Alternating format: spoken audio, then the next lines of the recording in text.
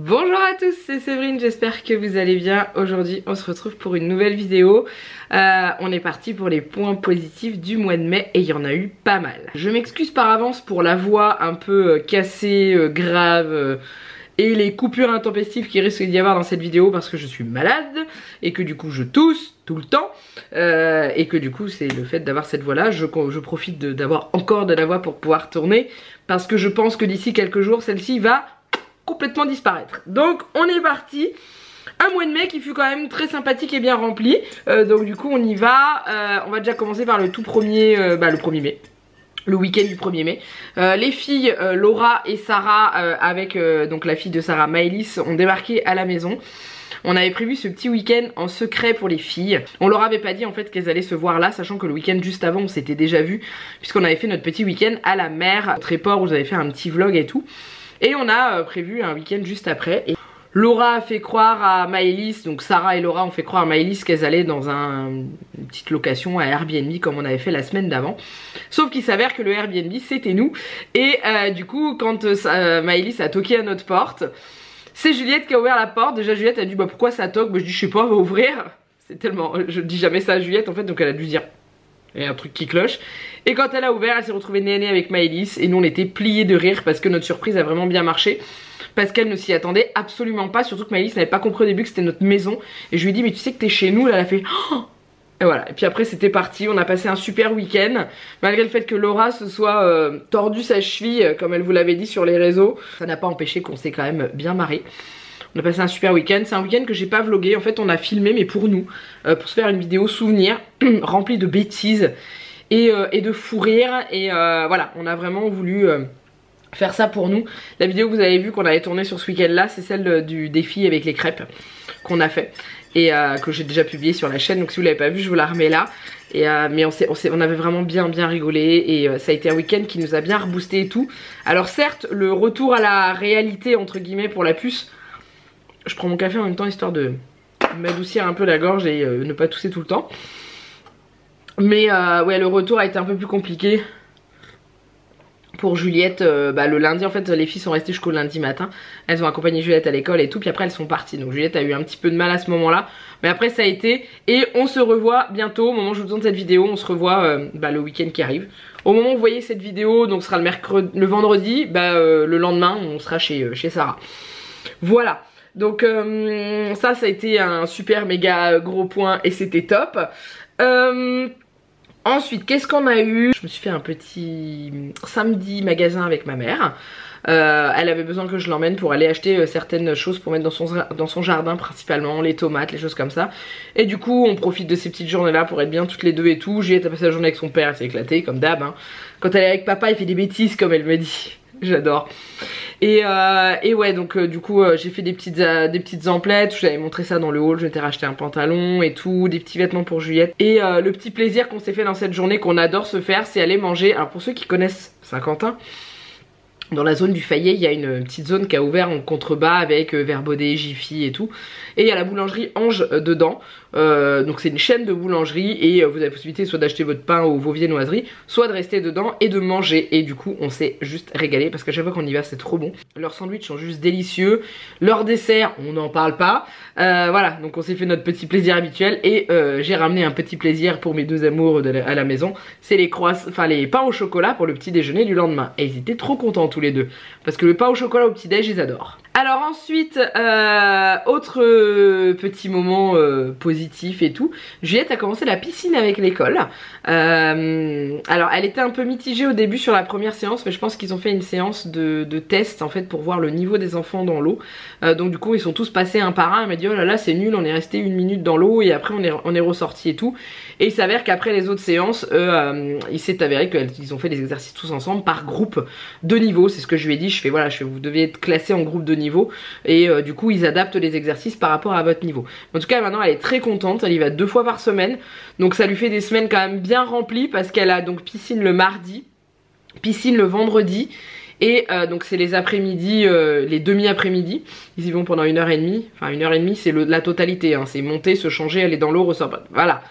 Et, euh, et, le vendredi en plus elle a toujours son, son Yosekan donc du coup je peux vous dire que le, vendredi soir à la sortie de son sport je la récupère à la petite cuillère. Elle est vraiment dans un état de fatigue. Heureusement que le week-end est juste derrière parce que waouh c'est chaud quand même hein.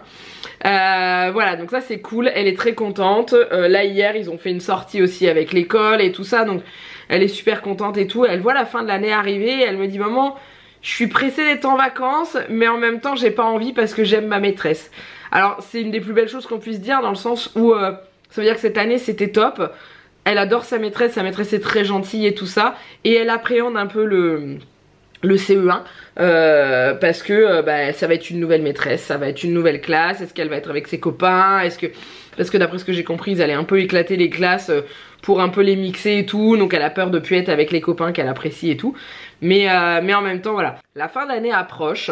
Et, et j'ai pas encore vu passer cette année scolaire. C'est un truc de dingue. Voilà. Je suis en train de regarder dans le retour de la caméra mais je suis quand même bien. Hein? Voilà, c'est pas de tourpeau les nuits en ce moment. Euh, donc ça c'était pour la puce. Euh, ensuite, pour ceux qui, suivi, qui me suivent sur Instagram, vous avez vu que le week-end du 21 mai, euh, donc le samedi 21 mai, j'ai été au Stade de France pour aller voir Indochine en concert. Ça faisait 3 ans que je les avais pas vus en concert. Alors, je vous remets dans le contexte, Indochine c'est une passion que j'ai depuis 19 ans, j'avais calculé bah, depuis l'âge de 19 ans, de toute façon 19 ans, 19 ans, et c'est ça parce que j'en ai 38. Et, euh, et en gros, euh, avant d'avoir Juliette, euh, j'avais fait euh, énormément, énormément, énormément, énormément de concerts. Et euh, surtout sur la dernière tournée qu'il y avait eu sur l'album du Black City Parade, j'avais fait énormément de dates et tout. Et après, ma vie a changé puisque j'ai eu ma puce, on a acheté notre maison et tout, donc du coup bah, je me suis calmée. voilà, la, priorité avait changé. Et, euh, et, maintenant quand ils font des concerts euh, sur les tournées et tout, je vais faire euh, peut-être une ou deux dates par-ci par-là. Et du coup là c'était le Stade de France pour la tournée des 40 ans du groupe. Date qui devait avoir lieu l'année d'avant, mais le Covid en a décidé autrement. Et là du coup cette fois-ci ça a eu lieu, donc on était plus de 97 000 dans Stade de France, j'avais encore jamais vu ça de ma vie.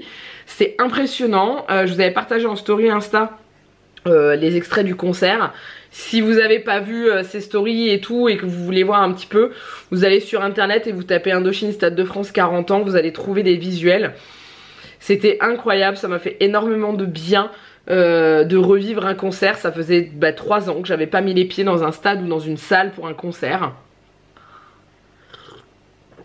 Et je vous cache pas que ça fait énormément de bien euh, de retrouver cette euphorie qu'on avait euh, il y a 10 ans.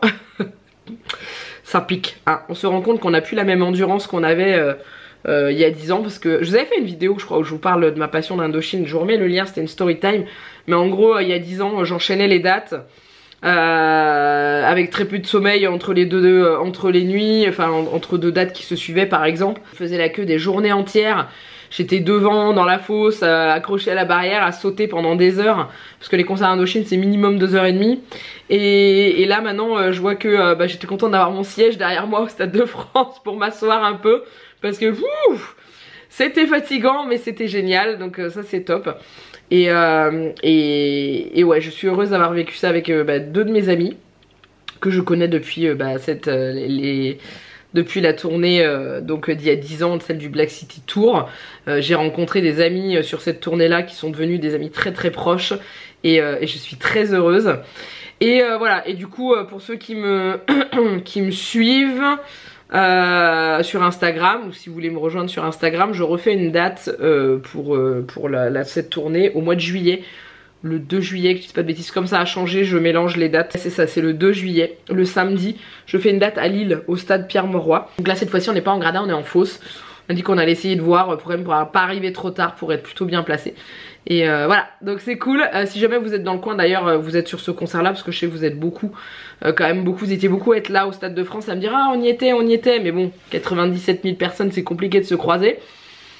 Pour Lille, c'est pareil, sauf que là, si je suis calée dans une file d'attente pendant un bon moment, c'est plus facile de se retrouver parce que Stade de France, je suis arrivée à la dernière minute, je suis rentrée, je me suis assise, voilà. Mais en tout cas, c'était un très bon moment. Et euh, dans cette journée-là aussi, on a, euh, on s'est fait un petit resto avec une de nos amies qu'on n'avait pas vue depuis très longtemps à cause du Covid.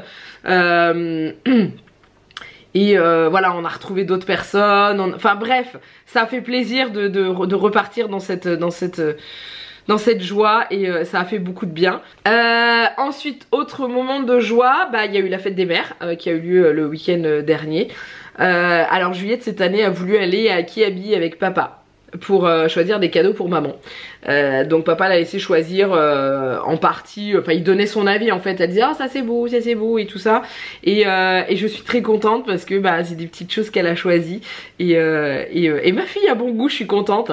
elle m'a pris des, donc des boucles d'oreilles, donc c'est un lot de trois boucles d'oreilles, enfin trois paires, pas trois boucles d'oreilles.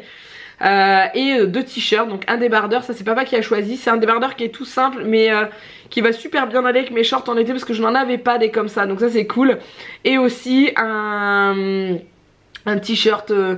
Euh, qu'il faut que j'aille changer d'ailleurs parce qu'ils ont pris la taille trop grande. En fait euh, Jarek m'a dit il me fait on a hésité. Enfin il me dit j'ai hésité sur la taille. Et euh, il me fait j'ai pas osé prendre la taille en dessous. Et en fait les t-shirts qui habillent je mets du L alors que j'ai tendance à mettre du XL en haut. Bah là je mets du L parce qu'il taille quand même assez large donc du coup, euh, coup j'irai les changer mais voilà j'étais trop contente. Elle m'a fait un milliard de dessins. Euh, elle a fait une carte avec papa quand j'étais pas là, là quand j'étais au concert d'Indochine. Elle a fait, ça je voulais partager sur Instagram. Hein. Elle a fait une carte avec papa, une carte à l'école. En fait la maîtresse leur a donné une petite carte, ils ont écrit un texte dedans. Euh, elle m'a fait un dessin euh, avec un petit mot derrière. Et elle m'a fait aussi un espèce de petit cadre. Euh, en fait, elle, a compris la technique de je colle un pied derrière une, image et quand je le pose, ça tient. Voilà. Donc elle m'a fabriqué ça toute seule. J'en ai qui me fait, il me fait, je, je l'ai pas vu venir. En fait, il fait me la donner. J'ai trouvé ça trop, trop beau, trop bien fait et tout. voilà. Donc c'était, c'était un, c'était un dimanche qui était bah heureusement qu'il y avait la fête des mères parce que j'étais malade comme je sais pas quoi. C'était il y a quelques jours. Hein. Et en gros j'ai passé mon dimanche euh, bah, à pas faire grand chose parce que euh, j'étais euh, KO à plat. Alors vous allez peut-être être plusieurs à me dire ah peut-être attrapé le Covid et tout. Non vous inquiétez pas ça c'est déjà fait. Je vous en ai juste pas parlé sur les réseaux parce que j'avais pas forcément envie de d'en parler plus que ça. Mais on y est passé. Merci. Mais euh, voilà non non j'ai juste attrapé une espèce de trachéite ou laryngite comme j'attrape régulièrement. Euh, quand ma fille est malade je chope ses microbes. Euh, voilà c'est le partage. Partageons, nous partageons tout, nous partageons la joie, le bonheur et les microbes. mais voilà, donc en tout cas c'était top. Le samedi, juste avant, en fait on a été au restaurant avec ma maman. Pour la fête des mères aussi. Du coup ouais on a fait ça le samedi. Parce qu'on a tous préféré faire ça le samedi. Et heureusement parce que vu dans l'état où j'étais le dimanche, je suis pas sûre que j'aurais pu assumer euh, la journée vu dans l'état où j'étais le dimanche. Et en fait, du coup, on s'est fait un petit resto. On aime beaucoup manger au restaurant Crocodile. Je vous en ai déjà parlé plusieurs fois. J'adore ces restos là, ils sont trop bien. Soit vous mangez dans le wagon de train, soit vous mangez dans le, resto, mais on est, super bien. Et, euh, du coup, après, euh, comme on était sur Saint-Quentin, toujours. Alors, je précise Saint-Quentin, celui du 02, hein, parce que vous êtes beaucoup à me dire Saint-Quentin en Yvelines, dans le 78 Non, non, non, je suis dans le 02. Et euh, du coup, on a été faire une petite balade au parc d'Île. Euh, bah toujours à Saint-Quentin et euh, ce parc est à la fois un parc où vous pouvez vous balader tranquillement, vous pouvez pique-niquer, vous pouvez faire de l'acrobranche, vous pouvez faire il n'y a pas encore mini-golf mais je pense qu'un jour ça va pas tarder et vous avez une ferme, une espèce de ferme pédagogique un peu et un autre parc animalier où ils accueillent des animaux en comment soit en danger, soit qui récupèrent d'autres euh, parcs animaliers, soit euh, des animaux en voie de disparition et tout ça. Et, euh, et du coup c'est top. C'est un parc qui est totalement gratuit mais qui est juste pépite, trop bien. Et, et, voilà, et on y apprend pas mal de choses. Et je suis pas une grande fan de parcs animaliers, mais celui-ci c'est vraiment pour sauvegarder ces animaux. Et, et c'est important. Il y a des animaux, on voit, il en reste très très peu dans le monde, donc le fait de, pouvoir les sauvegarder et tout, et je, trouve ça bien. Euh, voilà, donc on a fait cette petite balade, petit tour de manège, petit moment de bonheur pour Juliette, il hein, n'y a pas à dire, il n'y a pas d'âge pour le manège, moi honnêtement je serais bien montée sur un cheval de bois. En fait, les manèges comme ça, la plupart du temps j'y monte, mais c'est dans les parcs d'attractions genre Disney, Astérix et tout, on monte sur les chevaux euh, sans problème. Par contre, dans les, dans les, dans les manèges qu'on voit dehors, on a toujours du mal à monter dessus parce qu'il y a toujours les gens qui font mais qu'est-ce qu'elle fait Entre autres. Euh, et voilà, et autrement, euh, quoi d'autre bah, On a eu ce fameux euh, week-end de, alors 4 jours, 5 jours même, puisque Janek a posé son mercredi, parce que Juliette avait pas, elle a pas école le mercredi matin, donc du coup Janek a profité pour poser le mercredi, jeudi, vendredi, samedi, dimanche. Enfin, il a posé mercredi et vendredi, quoi. Et comme ça, ça a pu, on a pu y aller un peu à la cool à la maison. C'est-à-dire que pas de réveil pour personne le matin, ça fait beaucoup de bien ça a reposé un petit peu parce que euh, bah il n'y a pas à dire mais les vacances scolaires nous euh, on était les premiers en vacances. Donc euh, les dernières vacances pour juillet datent du mois de d'avril. Donc ouais, fin avril. Du coup, euh, bah, la fatigue commence à être là. Surtout que là, ils ont attaqué la piscine et tout. Ça commence à être dur. Les microbes s'installent, la preuve. Hein. Mais après, le temps qu'on a eu, c'est pas, pas, pas, exceptionnel. Donc ouais, ces 5 jours ont fait du bien euh, pour le repos, pour tout le monde. Donc maintenant, on est parti pour la dernière ligne droite. Chose aussi qu'on a eu, euh, ce petit moment de joie qu'on a eu au mois de mai, qu'on a réservé pour nos vacances d'été. Alors on part pas longtemps, on part une petite semaine, mais euh, c'est une petite semaine, on va se le faire à la cool, parce qu'après on a euh, pas mal de choses à faire sur l'extérieur de la maison, encore comme tous les ans avec Janek. Donc euh, là cette année, on, a, on s'est lancé un objectif pour l'arrière de la maison, ce qu'on avait commencé mais on n'avait pas fini, parce que je vous rappelle l'été qu'on a eu l'année dernière, où on a absolument, on a pratiquement pas pu bosser dehors, puisqu'on a eu un été de flotte. Euh, donc le seul moment où on a eu beau temps, c'est quand on est parti en vacances pendant 10 jours. On est parti, il faisait beau, enfin il faisait un temps pourri chez nous, on est arrivé, il faisait un soleil de dingue. On est reparti de là-bas, il pleuvait, on est arrivé à la maison, il pleuvait et ça a été après tout l'été pourri comme ça. Donc du coup on a très peu avancé, je me souviens on a semé le gazon sous la flotte euh, pour avancer ce qu'on avait commencé, histoire que les mauvaises herbes repoussent pas où on avait dégagé. Donc là on croise les doigts pour avoir un été ni trop chaud, ni trop froid, ni trop merdique, ni trop... Enfin bref, au pire on bossera très tôt le matin ou très tard le soir. Mais... Euh... Mais du coup, euh, voilà, on s'est vraiment mis un objectif pour euh, vraiment finir ce qu'on veut finir, qu'on n'a pas pu faire l'été dernier. Et voilà, mais euh, ouais, on était content, on a réservé, on va pas très très loin, mais franchement, c'est un coin qu'on aime beaucoup. On a trouvé un truc à 150 mètres de la plage que demander de mieux euh, en passant par Airbnb. Donc ça c'est cool. Euh, je vous dirai d'ailleurs pendant que j'y pense. C'est pas forcément rapport avec la vidéo mais il va y avoir un moment où euh, pendant le mois de juillet parce que Janek a ses vacances en juillet où il y aura pas de vidéo pendant un petit moment parce que je m'accorderai toujours la pause que je m'accorde en juillet en général 15 jours sans vidéo. Sachant que quand on partira je vous ferai des vlogs sur ce qu'on va faire et tout et que je publierai en décalé sur la suite euh, et, voilà. Et euh, dernière petite chose, euh, bah, la boutique. La boutique va toujours bien. je suis toujours très contente. J'ai des retours qui me vont vraiment droit au cœur.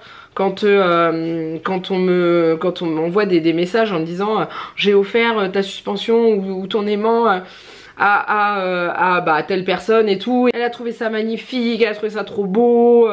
là j'ai eu encore une d'entre vous qui m'a envoyé un mail hier, elle m'a dit est-ce que je peux t'envoyer euh, le commentaire de ma maman sur euh, l'aimant que tu lui as fait et tout. Je dis oui, oui, bien sûr et tout ça. Je dis si tu veux je le partagerai. Elle m'a dit oui justement on voudrait euh, montrer qu'on est super content de ce qu'on a commandé et tout. Donc ça ça fait énormément plaisir. du coup voilà, sachant que là je suis un peu comme ça. parce que je vais vous présenter des nouveautés pour la boutique qui sont complètement différentes des suspensions et aimants. C'est-à-dire que ça ne s'accroche pas au mur ou sur une surface aimantée. Euh, et, je stresse un peu parce que j'ai peur en fait que ça vous plaise pas. Euh, après ça va peut-être vous plaire et je vais peut-être avoir du boulot par-dessus la tête, je sais pas.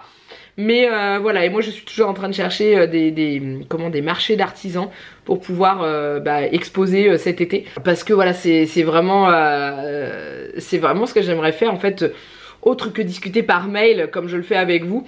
J'aimerais aussi pouvoir discuter en direct et avoir le retour en direct des gens euh, quand ils passent devant le stand et qu'ils disent Oh waouh c'est bien ça, ah moi j'aime pas trop. j'aime bien entendre ce que les gens pensent, que pour s'améliorer il faut avoir euh, toutes les critiques euh, possibles et tout. Et voilà donc j'aimerais vraiment pouvoir faire ça. Donc pour l'instant j'ai pas encore trouvé qui accepte des petits artisans comme moi. Mais je vais trouver, je ne perds pas espoir, clairement je ne lâche pas. Et, voilà, je vais m'arrêter là parce que je, je tousse non-stop, j'ai du mal à faire une phrase complète sans m'étouffer. Comme d'habitude, en dessous de cette vidéo, n'hésitez pas à mettre en commentaire vos points positifs du mois, que ce soit pour vous infime à vos yeux mais qui vous ont vraiment rempli de bonheur. Il n'y a pas besoin de... comment de trucs de dingo qui coûtent une fortune pour pouvoir être heureux. Euh, regardez, moi je vous ai dit, on s'est fait un petit resto ou alors on a été se balader euh, dans le parc ou... Euh, ou le bonheur pour Juliette c'est d'aller à la piscine avec l'école ou... Enfin voilà, bref. Et, euh, euh, comme d'habitude, je vous le dis, il n'y a pas de petit bonheur, il n'y a pas de tout petit bonheur, il y a juste des bonheurs simples. Et euh, il n'y a pas besoin de beaucoup pour avoir des bonheurs simples comme ça. Voilà, je vous laisse là. N'oubliez pas de liker cette vidéo si vous l'avez aimé. Vous abonner à la chaîne si ce n'est pas encore fait. Et comme je vous l'ai dit, petit commentaire en dessous. Je vous fais plein de gros bisous. Et je vous dis à très bientôt pour une prochaine vidéo. Bye bye